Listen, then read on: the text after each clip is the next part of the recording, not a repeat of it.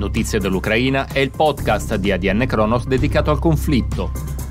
Cosa sta succedendo davvero in Ucraina e cosa sta accadendo nell'equilibrio globale del pianeta a causa della guerra? Bentornati da Carlo Intini.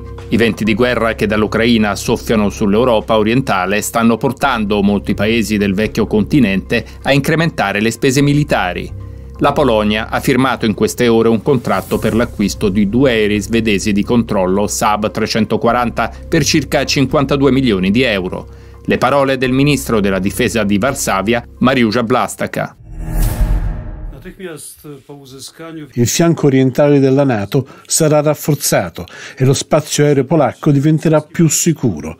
Doteremo inoltre le forze armate polacche con 96 elicotteri d'attacco Boeing Apache.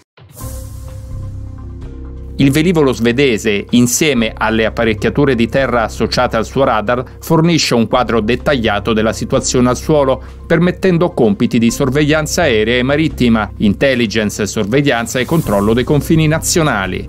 La Polonia prevede di spendere quest'anno circa il 4% del prodotto interno lordo nella difesa per modernizzare le proprie forze armate con un incremento di spesa del 12%. Nella lista mondiale dei paesi che hanno maggiormente aumentato le spese militari anche Finlandia più 36%, Lituania più 27% e Svezia più 12%.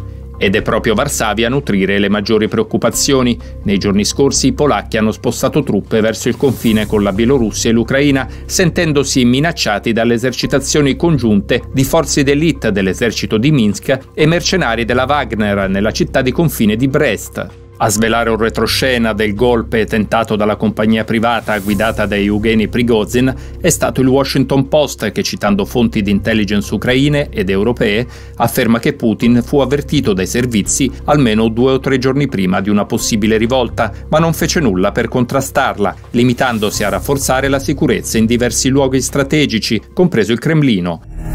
Putin ha avuto il tempo di prendere la decisione di sedare in anticipo la ribellione e arrestare gli organizzatori. Poi, quando è iniziata, c'è stata una paralisi a tutti i livelli. C'erano sgomento e confusione.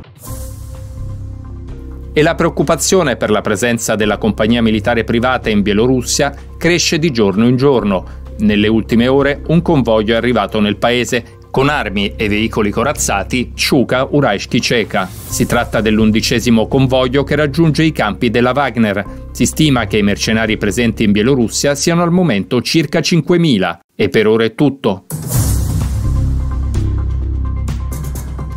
Notizie dall'Ucraina è un podcast originale ADN Kronos. Se questo podcast è di tuo gradimento, seguici anche dalla tua app podcast preferita, YouTube, Spotify, Google Podcast, Apple Podcast e Spreaker. Iscriviti al canale o abilita la funzione Segui per trovarci più rapidamente e la funzione Notifica che ti avviserà ogni volta che saranno disponibili nuovi episodi. E se hai un momento, lascia una recensione, aiuterà gli altri a trovarci più facilmente.